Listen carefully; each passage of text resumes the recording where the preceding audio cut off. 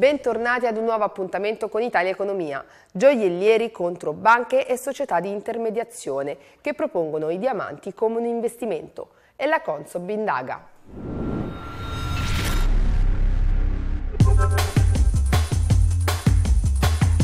Il diamante è un investimento o una gemma di valore ma difficile da rivendere?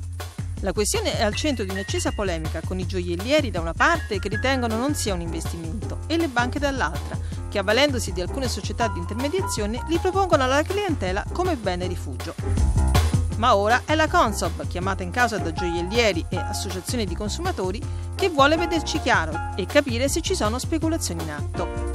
La Commissione ha infatti aperto un fascicolo nei confronti di alcuni istituti di credito e di società di intermediazioni, visto che non esistono quotazioni ufficiali come per l'oro il diamante venduto al di fuori del circuito di gioiellerie, quindi venduto attraverso intermediari e istituti di credito, molte volte è sopravvalutato rispetto a quelle che sono le caratteristiche della pietra stessa. Molte volte vengono promesse una sorta di investimento, quindi un ritorno del denaro investito, ma molte volte non accade questo. Noi abbiamo avuto modo di confrontarci con molti consumatori delusi che ovviamente si sono rivolti alle nostre gioiellerie in cerca ovviamente di eh, chiarimenti sul, sul diamante che magari avevano avevano acquistato in assoluta buona fede attraverso il circuito bancario, attraverso alcuni istituti che ovviamente offrono questo servizio e ovviamente di fronte a delle quotazioni molto basse rispetto al prezzo pagato c'è stata una grande delusione. La Feder Preziosi ha sferrato un contrattacco con una campagna informativa nelle vetrine dei negozi. Per capire se un diamante è di buona qualità ci sono alcune caratteristiche, le famose 4C, che un occhio esperto come quello di Roberto Gianzanti, gioielliere e perito del tribunale, è in grado di valutare. Le 4C essenzialmente è il peso in carati. Cat, che sta a significare né più né meno come sono tagliato, non tanto la forma esterna, ma proprio se le proporzioni di taglio sono giuste. Poi Clarity significa quanto sono pura. Color, colore. I diamanti possono avere un colore che va da leggermente, leggermente colorato ed è l'azoto che dà questo colore giallo, a un colore che io lavo più bianco, che significa un bianco talmente alto che poi comunque per rilevarlo ci vogliono o degli strumenti o un occhio con delle master stone, come in questo caso, che hanno già definito il loro colore e possono, mettendole vicina alla piede in esame, eh, si può vedere la differenza che esiste. La questione dei diamanti ha suggerito perfino a Maurizio Crozza un esilarante sketch. Guardi questo diamante, che bello! Ma che bello! Lo propongono tutte le banche come bene rifugio. Lo vuole? Beh, non lo so quanto costa. È un affare. Sì. Ma solo perché lei? 8.000 euro. Sì, ma 8.000 euro è proprio il valore di mercato. No, sul mercato dei diamanti questo qui non vale una minchia. Ah. No, in una qualsiasi gioielleria costa di più ah. il tappetino di velluto dove glielo fanno vedere. Intermarket Diamond Business, società leader in Italia nell'intermediazione dei diamanti attraverso canale bancario, si difende. La questione è posta in termini non corretti in quanto in gioielleria si acquista un bene di lusso, ma finalizzato a se stesso, finalizzato al piacere personale. Invece chi acquista un diamante in banca lo fa acquistando un bene associato a tutta una serie di servizi fondamentali che fanno di questo bene un vero e proprio investimento. Diamanti comunque da indossare finché le donne continueranno a considerarli i loro migliori amici. Quite continental, but diamonds are a girl's best friend.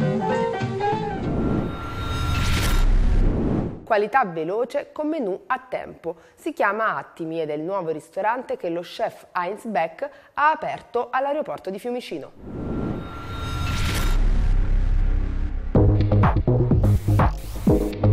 Si chiama Attimi by Heinz Beck ed è il nuovo ristorante che apre all'aeroporto di Fiumicino nel Terminal 3. Un nuovo concetto di ristorante in cui lo chef pluristellato Heinz Beck intende far mangiare fast con qualità slow, preparando pasti prelibati nel giro di 30, 45 o al massimo 60 minuti. Tempi stretti per viaggiatori che aspettano di partire sono dunque in transito nello scalo romano. Attimi perché in aeroporto tu hai solo poco tempo e in questi pochi attimi tu devi trovare il cibo giusto, il cibo che ti aiuta a affrontare un viaggio lungo ti permette di non appesantire il tuo organismo. Noi facciamo una cucina eh, leggera dei sapori mediterranei, eh, piatti eh, profumati, gustosi, ma allo stesso tempo molto leggeri. Ogni tavolo del locale è dotato di una clessidra in modo che il cliente abbia la percezione del tempo che scorre e possa verificare la puntualità delle portate. Il progetto nasce in partnership con Chef Express, la società che gestisce tutte le attività di ristorazione del gruppo Cremonini. Questa è la sfida principale, riuscire a portare anche eh, nel mondo della ristorazione in viaggio una qualità eh, della cucina e quindi dell'esperienza food di, di altissimo livello eh, pur rimanendo alla portata di tutti. Una sfida che Heinz Beck sintetizza così. Un piatto cucinato male e un piatto cucinato bene impiega lo stesso tempo nasce la prima banca di prossimità in Europa. Con Intesa San Paolo l'offerta arriva in tabaccheria.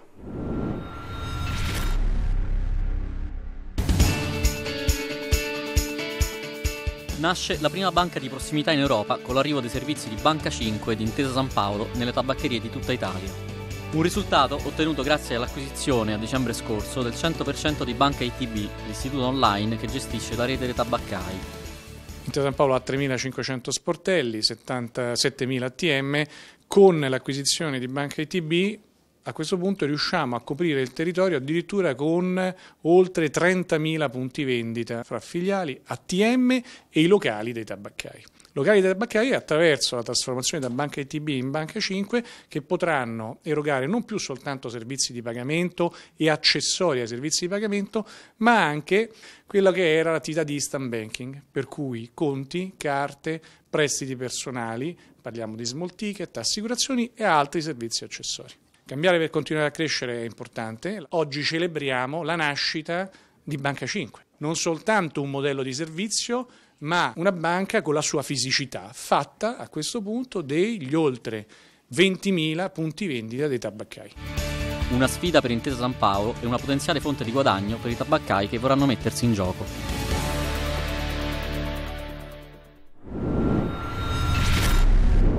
La borsa è in attesa delle prossime mosse del neoeletto presidente degli Stati Uniti, Trump. L'analisi nella finestra sui mercati.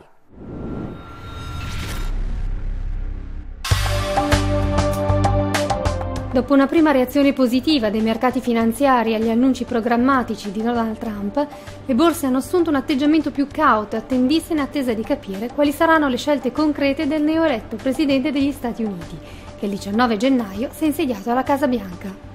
Il mercato tende ad anticipare quelli che sono i movimenti futuri, quindi anche in questo caso è andato un po' più avanti rispetto alle dichiarazioni di Trump, aspettando di vedere i fatti concreti.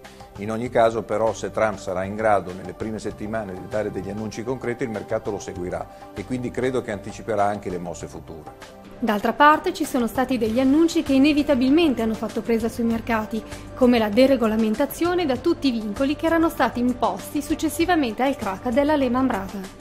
Diciamo che Trump all'inizio aveva lasciato tutti un po' imbarazzati riguardo alla sua personalità e al suo modo di agire. In realtà nei fatti si è dimostrato molto più capace, si è circondato di uno staff che è sicuramente il migliore delle ultime amministrazioni americane, persone molto competenti e secondo me persone in grado di fare veramente quella deregolamentazione e soprattutto quelle nuove riforme fiscali che saranno così necessarie a far aumentare la crescita negli Stati Uniti. Di contro però quella di Trump intende chiaramente essere una politica protezionista, America's First.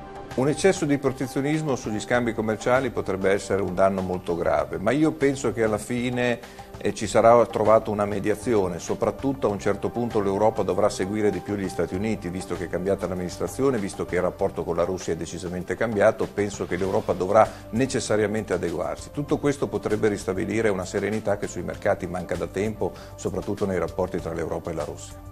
Ma il processo legislativo è lungo e tutt'altro che privo di ostacoli. I mercati potrebbero scontare l'attesa con la volatilità. Diciamo che i mercati l'instabilità politica eh, la scontano in maniera negativa, quindi è probabile che ci siano delle fasi di rialzo seguite da fasi un po' più riflessive, un po' come quella che, a cui stiamo accadendo ultimamente nelle ultime settimane. Dopo un iniziale rialzo il mercato un po' consolidato, ma è normale, però la tendenza di lungo termine seguirà quelle che sono le stime economiche e quindi quelle che sono le proiezioni sulla crescita americana in futuro.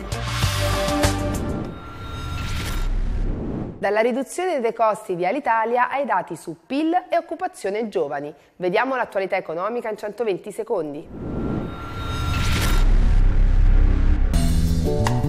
Alitalia ha avviato una drastica riduzione dei costi che prevede risparmi per almeno 160 milioni di euro già nel 2017. Questi ultimi non riguardano il costo del personale, capitolo che andrà affrontato a valle di un piano più dettagliato. Ad annunciarlo l'amministratore delegato del gruppo Kramer Ball. Sul piano stanno lavorando due advisor, quello industriale, Roland Berger, e quello finanziario, KPMG. Dopo la crescita dello 0,3% registrata nel terzo trimestre, gli ultimi dati indicano un'accelerazione per l'Eurozona nel quarto trimestre del 2016 e la BCE si attende un rafforzamento nel 2017, ma i buoni segnali non devono far abbassare la guardia. È il messaggio che arriva dal presidente della BCE Mario Draghi, che lega la crescita alle riforme e che può essere minacciata dall'andamento rallentato nell'attuazione delle riforme. Aumenta il tasso di occupazione dei giovani di età compresa tra i 25 e i 29 anni che, pur rimanendo basso, è aumentato di 3,8 punti percentuali dall'ultimo quarto del 2013 al terzo trimestre 2016. Quello dei 15-24 anni è aumentato di 1,7 punti. Lo dice una nota del Centro Studi Confindustria che analizza la situazione del lavoro in Italia, una ripartenza avvenuta anche grazie all'incentivo dell'abbattimento contributivo.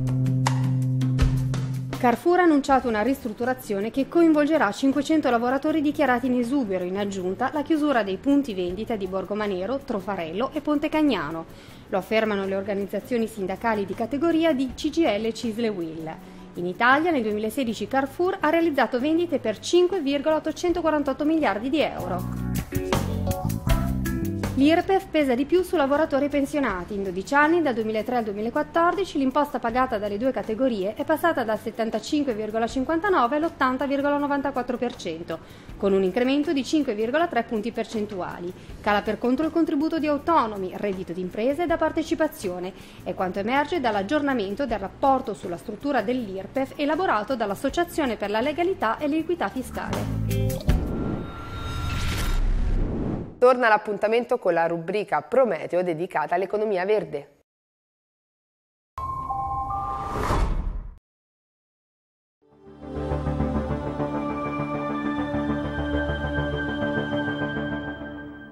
Valanghe l'importanza della prevenzione. Un pianeta malato di spreco a Roma la mostra Scarcity Waste.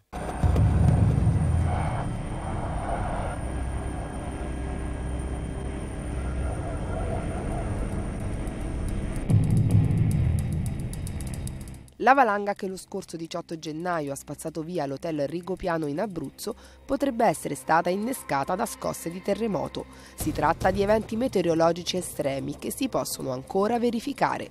Nonostante il fatto che le temperature più elevate possano portare a minori nevicate in senso medio, la realtà è che eventi estremi come quello a cui stiamo assistendo si possono verificare. Quindi forti nevicate possono ancora accadere e dobbiamo tenere la guardia alta soprattutto dal punto di vista della comprensione di questi fenomeni e della prevenzione di potenziali rischi in montagna, tra cui valanghe enormi come quelle che si sono, quelle che si sono viste eh, in questi giorni.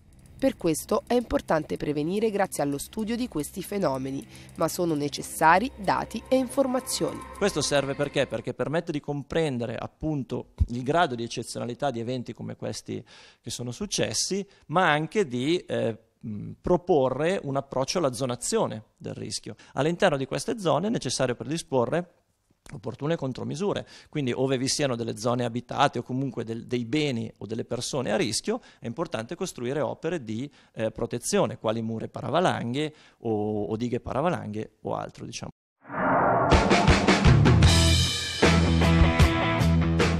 Un pianeta malato di spreco, diviso tra la scarsità di risorse e l'utilizzo sfrenato che se ne fa.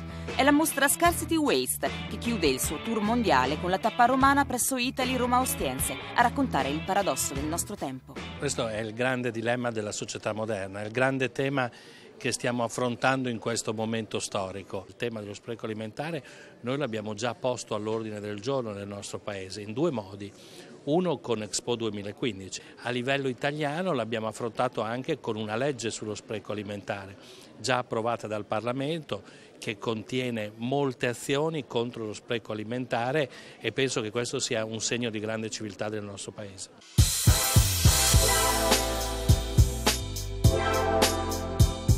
In mostra fino al 9 febbraio le immagini vincitrici dell'edizione 2015 del concorso internazionale di fotografia organizzato da Singenta, che ad ogni tappa del tour ha avviato un confronto sul tema dell'ingiusta distribuzione di cibo, acqua ed energia, promuovendo la riflessione sul tema dello spreco. Singenta è un'azienda a livello mondiale impegnata nell'agricoltura sostenibile e siamo consapevoli che in futuro bisognerà produrre di più e soprattutto meglio ponendo molta attenzione all'utilizzo delle risorse. A livello mondiale l'utilizzo del cibo è ancora sottoposto a un enorme spreco, basti pensare che un terzo di tutte le produzioni mondiali sono considerate sprecate, in Europa e in America addirittura la metà di tutto quello che viene prodotto viene sprecato. Credo che questo sia un aspetto che sia socialmente che moralmente non sia più sostenibile e l'Italia in particolar modo è in una posizione estremamente avanzata di sensibilità su questa tematica. Il Singenta Photography Award Award è il premio internazionale che punta a creare consapevolezza sulle sfide che il pianeta è chiamato a gestire. In mostra una selezione dei migliori progetti tra quelli presentati dagli oltre 2000 fotografi, professionisti e amatoriali di tutto il mondo che hanno partecipato al concorso.